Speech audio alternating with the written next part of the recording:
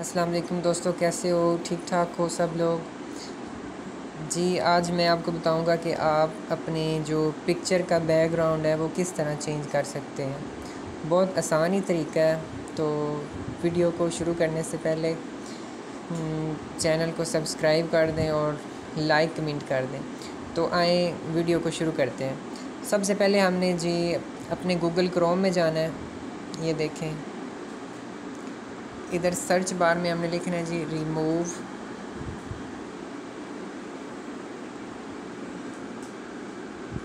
remove B G R E ये मेरे पास आ गया. रिमूव बी जी ये जो फ़र्स्ट वाला है फ़र्स्ट वाला लिंक है, ये आपने ओपन करना है. ये देखें. ये ओपन हो गया.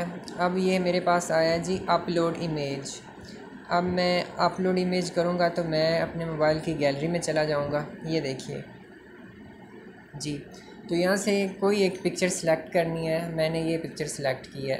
ये देखिए। ये डन कर दिया। है और अभी ये प्रिपेयरिंग हो रही है अपलोडिंग हो रही है। तो जी। अपलोडिंग हाँ, हो रही है।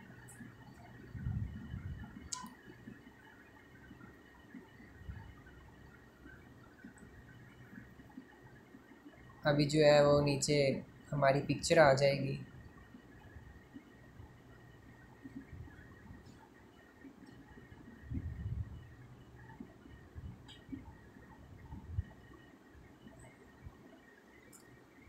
जी। तो ये देखें, ये पिक्चर आ गई है।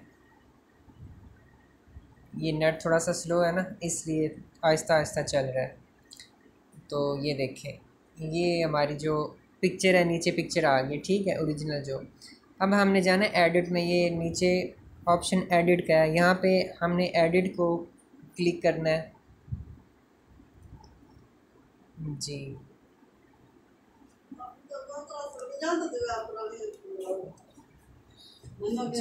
ठीक। यहाँ से आपने ये देखें पिक्चर्स के बैकग्राउंड आ गए हैं। ये देखें। इसके अलावा और भी काफ़ी हैं। ये देखें।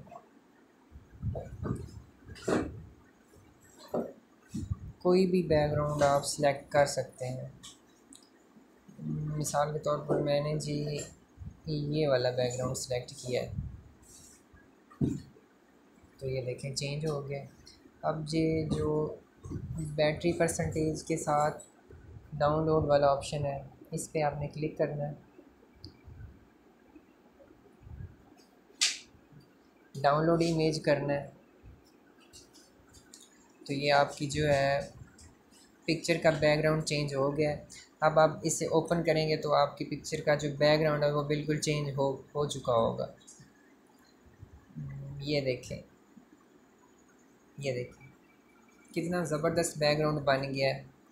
तो अगर वीडियो अच्छी लगे तो प्लीज़ लाइक कर दें चैनल को सब्सक्राइब कर दें। शुक्रिया। अब आप ट्राई करके देखें